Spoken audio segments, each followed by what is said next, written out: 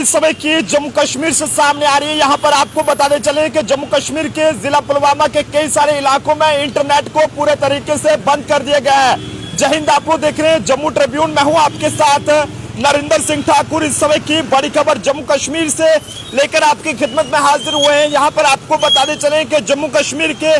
पुलवामा के कई सारे इलाकों में जो है अभी फ़िलहाल इंटरनेट जो है वो सस्पेंड कर दिया गया है। इसकी वजह क्या कुछ है, ये भी हम आप लोगों तक पूरी जानकारी पहुंचाएँगे, लेकिन खबर को ज़्यादा से ज़्यादा शेयर करिएगा क्योंकि जम्मू कश्मीर के पुलवामा के कुछ हिस्सों में जो है मोबाइल इंटरनेट सेवा को फ़िलहाल के लिए सस्पेंड कर दिया गया है, और आपको बताने चले कि अधिकारियों ने इस हवाले से जानकारी दी है, जिसमें ये बताया गया है कि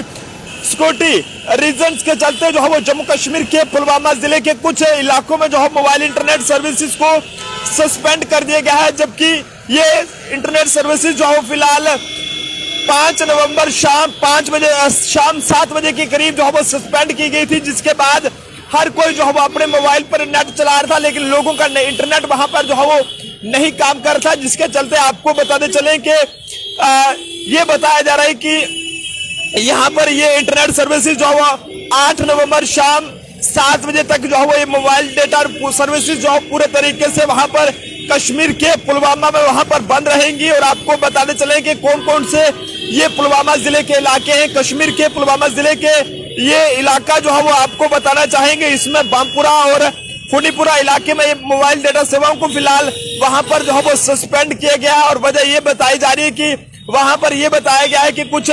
राष्ट्र विरोधी तत्वों द्वारा जो है मोबाइल डेटा सेवाओं के दुरुपयोग की संभावना का उल्लेख किया गया है और जिससे सार्वजनिक व्यवस्था है उसमें जो है वो गिरावट हो सकती है यानी कि वहाँ पर कोई जो है वो सिचुएशन खराब हो, हो सकती है और इसी के चलते कश्मीर के पुलवामा ज़िले में वहाँ पर इंटरनेट सर्विसेज़ को जो है वो सस्पेंड किया गया। इसके हवाले से एडीजीपी कश्मीर जो है विजय कुमार जी हालाँकि अब उनका तबादला हो गया लेकिन उनके द्वारा जो अभी वहाँ पर जो जानकारी दी गई है उसमें यही बताया गया है कि कश्मीर के पुलवामा ज़िले में ये जो है वो कुछ इलाकों में वहाँ पर इंटरनेट सर्विसेज़ को सस्पेंड कर दिया गया है और वजह सिक्योरिटी रीजन की फ़िलहाल जो है बताई जा रही है। जैसे अभी फ़िलहाल ये इंटरनेट सर्विसेज़ जो है पाँच नवंबर शाम सात बजे जैसे ही बंद की गई तो उसके बाद इलाके के लोग वहाँ पर जब अपने मोबाइल पर इंटरनेट चलाने लगे तो उन्हें इंटरनेट चलाने में वहाँ पर काफ़ी मुश्किल का सामना करना पड़ रहा लेकिन अभी उसके बाद जैसे जो है वो एडीजीपी जम्मू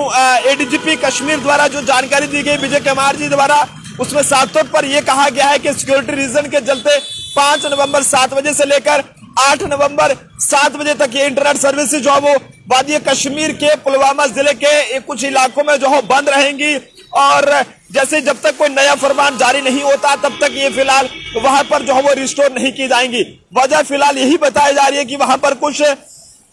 राष्ट्रीय विरोधी तत्वों द्वारा जो है मोबाइल इंटरनेट सेवाओं का गलत इस्तेमाल वहाँ पर किया जा रहा है और साथ ही साथ जिससे जो है वो सार्वजनिक व्यवस्था को जो है वो गिरावट हो सकती है। अब आप जनता अपनी इस पर अपनी राय जो है वो ज़रूर साझा करें। लेकिन जम्मू कश्मीर के पुलवामा ज़िले से समय की बड़ी खबर कि वहाँ पर इंटरनेट सर्विसेज़ इंटरनेट सर्विसेज़ को जो है वो फ़िलहाल के लिए सस्पेंड किया गया है। कैमरा पर्सन अभिषेक के साथ नरेंद्र सिंह ठाकुर, जम्मू।